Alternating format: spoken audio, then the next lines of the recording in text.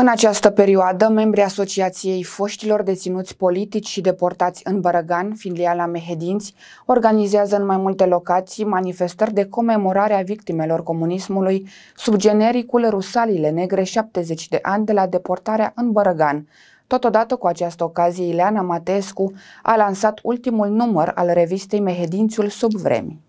În fiecare an, membrii AFDPR, filiala Mehedinți, aduc un omagiu rudelor și cunoscuților care, în urmă cu 70 de ani, la data de 18 iunie 1951, au fost deportați în câmpia Bărăganului, unde au răbdat exilul, sărăcia și chiar moartea. Din Mehedinți au fost ridicate forțat și strămutate în Bărgan 1243 de familii cu un număr de 3851 de persoane din 100 de localități. Astăzi, având în vedere că ne-am planificat un simpozion național cu tema Rusaliile Negre, 70 de ani de la deportare. Avem uh, uh, online acest simpozion și lansarea revistei Mehedințiul sub vreme. Revista uh, se referă în mod special la uh, evenimentul pe care îl comemorăm în această săptămână și anume la faptul că în urmă cu 70 de ani Uh, Mehedinciul a făcut obiectul celei mai uh, uh, inumane acțiuni care se întâmplase până la acel moment în România, și anume deportarea unui număr foarte mare de români,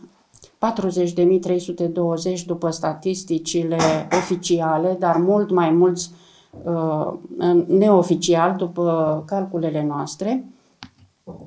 Și deci uh, uh, am făcut cunoscut faptul că vom organiza acest simpozion în toată țara, am primit materiale din toată țara,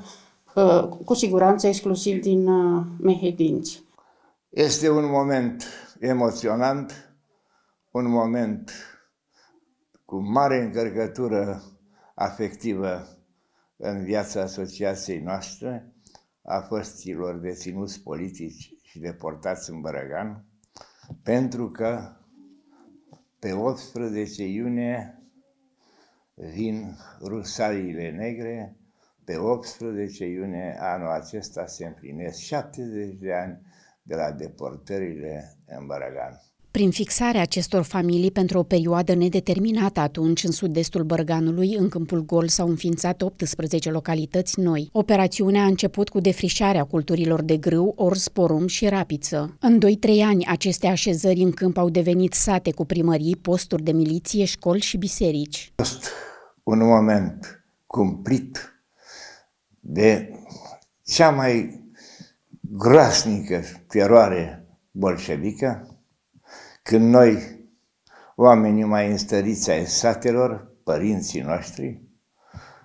au fost în numai trei ore smulși din averea pe care au muncit-o o viață și au părăsit avutul de o viață și au părăsit satul și au părăsit oamenii și toate rânduierile lor și au fost duși în vagoane de vite, în bou vagon, cum se spunea, purtați pe linii aproape două săptămâni în bătaie de joc, unii peste alții,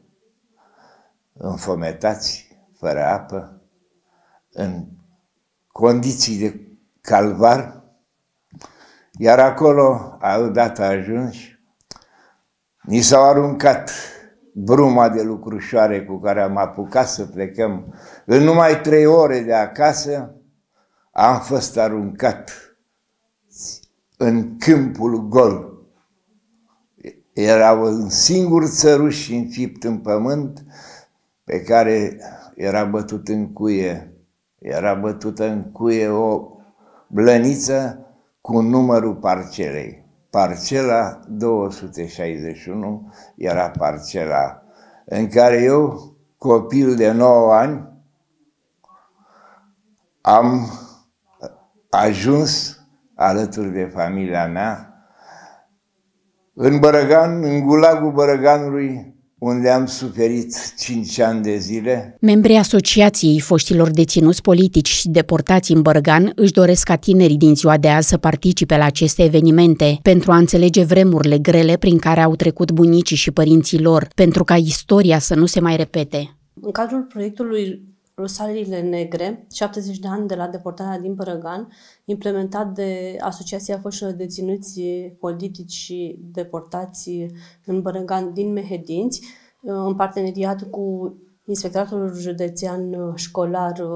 Mehedinți și Consiliul Județean Mehedinți, au fost implicați tineri de diverse credințe și de diverse etnii, mi se pare foarte important ca aceștia să